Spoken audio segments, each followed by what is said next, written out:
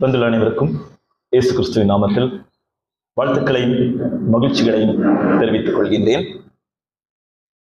இந்த அருமையான நன்னாளிலே வாரத்தின் முதல் நாளிலே இயேசு கிறிஸ்துவை நினைவு கூறும்படியாக இந்த பந்தியில் நாம் அனைவரும் இணைய வந்துள்ளோம் எப்பொழுதுமே பந்தியில் இணைவதற்கு முன்பதாக சில வார்த்தைகளையும் சில வசனங்களையும் கேட்டதற்கு பின்பதாக நம்மை நாமே உணர்ந்தவர்களாக பந்தியில் இணைகின்றோம். இந்நன்னாளிலும் சில வார்த்தைகளையும் சில வசனங்களையும் பார்க்கலாம். எப்பொழுதுமே தேவனுடைய பந்தியில நாம் இணையும் பொழுது பய பக்தியோடு கூட இணைய வேண்டும்னு சொல்வார்கள். அந்த பயத்தோடு கூட இணையும் பொழுது அந்த பந்தியை குறித்ததான அந்த பயத்தோடு நாம் இணையும் பொழுது சரியான முறையில் இணைகின்றோமா? எப்பொழுதுமே உலக காரியங்கள்ல பார்க்கும் பொழுது ஒருவர் எல்லா விஷயத்திற்கும் பயம் கொள்கிறார் என்றால் அவர்களை தாழ்வாக பேசுவார்கள். இல்லை என்றால் தாழ்வாக வைத்துக் கொள்வார்கள். ஏனென்றால் இவன் எல்லா விஷயங்களுக்கும் பயம் கொள்கின்றான். எந்த ஒரு முயற்சி எடுத்தாலும் பயம் கொள்கின்றான்.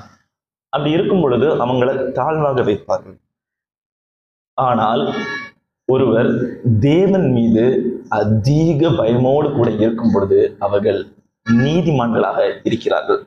தேவன் மீது எப்பொழுதுமே ஒருவர் அதிக பயமாக இருக்கிறார் என்றால் அவர் நீதிமானாக இருப்பார்.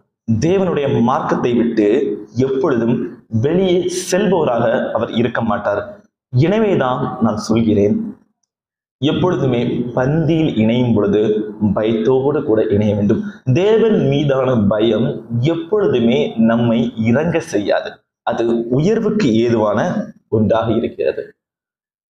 பயம் தேவன் மீது எப்பொழுதுமே வைத்திருக்க வேண்டும். மேலும் இந்த பந்தியில் நாம் இணைவது தவறுகிறது என்றால் அதற்கு அதிகப்படியான ஒன்று இருக்கிறது என்றால் அது ஆசையாக இருக்கலாம். ஏனென்றால் உலக காரியங்களின் மீது வைத்த ஆசை நம்மை தேவனை விட்டு விலக்குகிறது. அந்த ஆசை எப்பொழுதுமே நம்மை தேவனோடு கூட இணைய செய்யாது.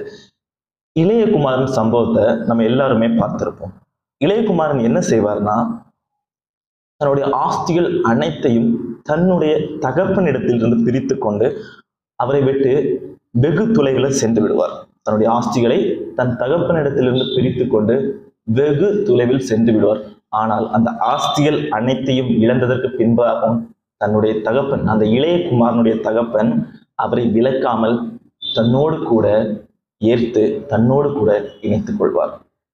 நாம் அனைவரும் மூத்த குமாரனாக இருந்தாலும் அல்லது இளைய குமாரனாக இருந்தாலும் நம்முடைய பிதா எப்பொழுதுமே நம்மை அவரோடு கூட இணைத்துக் கொள்வார்.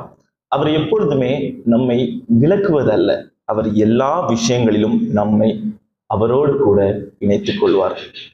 எவ்வளவு விலகிச் சென்றாலும் எவ்வளவு அவரை விட்டு பிரிந்து சென்றாலும் நம்மை அவரோடு கூட இணைத்துக் கொள்வார்.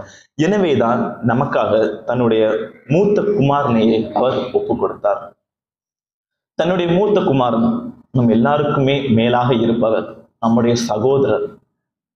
அவர் அந்த இளைய குமாரன் சம்பவத்துல வரக்கூடிய மூத்த குமாரன் மாதிரி இல்லை. தன்னுடைய இளைய குமாரனை தகப்பன் இணைத்துக் கொள்ளும் பொழுது அந்த மூத்த குமாரனுக்கு என்ன வருதுன்னா கோபம் வருது. உங்களை விட்டு அவன் விலகி போனானே. அவனை நீங்க இழுத்து வச்சிருக்கீங்களேன்னு கோபம் வருது.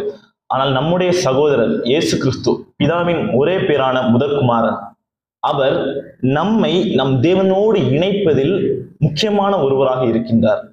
எனவே தான் நம்முடைய பாவங்களுக்காக நம்முடைய மீறுதல்களுக்காக நம்முடைய அதிகப்படியான குறைவிற்காக அவர் தன்னைத்தானே சிலுவையில் ஒப்பு கொடுத்தார் அந்த சிலுவையில் நமக்காக பாவ மன்னிப்பையும் பெற்றுக் கொடுத்தார். எனவே அந்த மூத்த குமாரன் என்ன செய்யறார்னா இயேசு கிறிஸ்துவாகிய அந்த மூத்த குமாரன் இந்த இளைய குமாரர்களையும் குமாரத்திகளையும் தன்னுடைய தகப்பனோடு கூட இணைப்பதில் மிகவும் ஆர்வமாக இருக்கிறார். அவர் நம் பிதாவை விட்டு விலகி சென்றுவிடக் கூடாது என்று மிகவும் ஆர்வமாக இருக்கிறார். எனவே தன்னுடைய உயிரையே சிலுவையில் ஒப்பு கொடுத்தார் ஒப்பு கொடுத்து மூன்றாம் நாள் உயிர் தெழுந்தார். அவர் செய்யும் அநேக காரியங்களும் நம்மை தேவனோடு இணைப்பதில் தான் உள்ளது. எனவே தான் அவர் கூறியுள்ளார் தன்னை நினைவு கூறும்படியாக இந்த பந்தியில் இணையும்படியாக கூறியுள்ளார். ஒரு வசனத்தை வாசிக்கலாம். ஒன்று குருந்தியர் பதினொன்றாம் அதிகாரம் இருபத்தி மூன்றாம் வசனத்தை வாசிக்கலாம். ஒன்று குருந்தியர் பதினொன்று இருபத்தி மூன்று. பக்கம் புதிய ஏற்பாட்டில் இருநூற்றி முப்பத்தி ஏழு.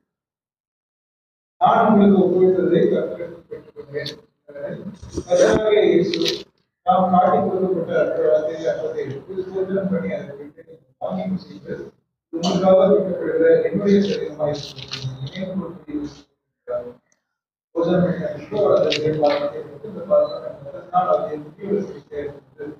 நீங்கள் இதை பார்க்கும் போதெல்லாம் நினைவு ஒருபடி இதை செய்ய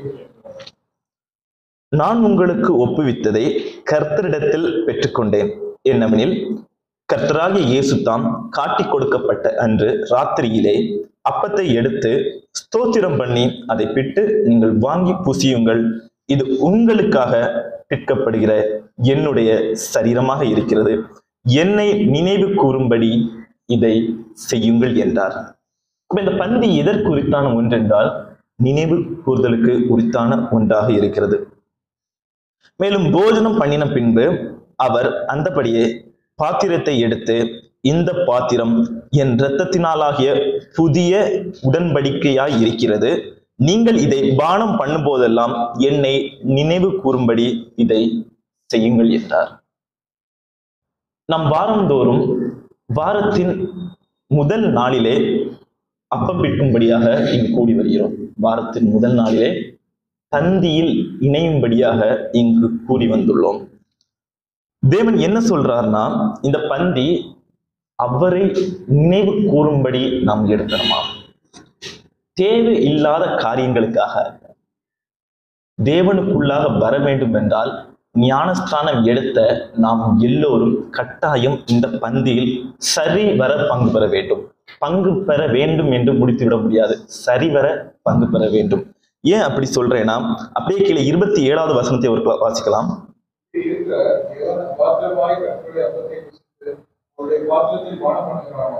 அவன் சரீரத்தையும் ரத்தத்தையும் குறித்து இருப்பான்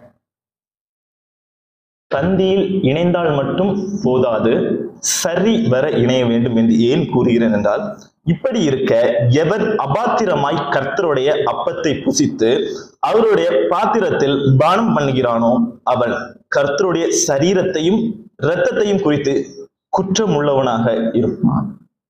சாதாரண ஒரு குற்றத்திற்கு பரலோக ராஜ்யத்துக்கு போனோம்னா அதனுடைய தண்டனை அதிகமாக இருக்கும். ஆனா இங்க என்ன சொல்லியிருக்குன்னா அவன் கர்த்தருடைய சரீரத்தையும் இரத்தத்தையும் குறித்து குற்றம் உள்ளவனாக இருப்பான். பந்தியில இணையாம போறது ஒரு குற்றம்னா பந்தியில சரிவர இணையாம இருக்கிறதும் ஒரு குத்தமாகத்தான் இருக்கிறது.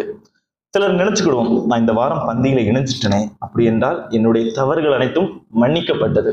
இந்த வாரம் நான் பந்தியில இணைஞ்சிட்டேன். என் குற்றங்கள் குறைகள் எல்லாம் என்னை விட்டு நீக்கப்பட்டு விட்டது என்று. அப்படி இல்லை. எவன் ஒருவன் சரிவர இந்த பந்தியில இணையிலையோ அதுவே ஒரு பெரிய குற்றமாகத்தான் இருக்கும். எனவே எடுக்கவிருக்கும் இந்த பந்தியில் சரிவர இணைவோம். பிதா தாமே தன்னுடைய குமாரனை நமக்காக கொடுத்தார். நம் பாவங்களுக்காக அவர் சிலுவை பாடுகளை ஏற்றுக்கொண்டார். அந்த ஏற்றுக்கொள்ளப்பட்ட பாடு வீணாக செல்லாமல் அது பயன்பெற நாம் இந்த பந்தியில் சரிவர இணைவோம். தேவன் தாமே இந்த வார்த்தைகள் அனைத்தையும் ஆசீர்வதிப்பாராக.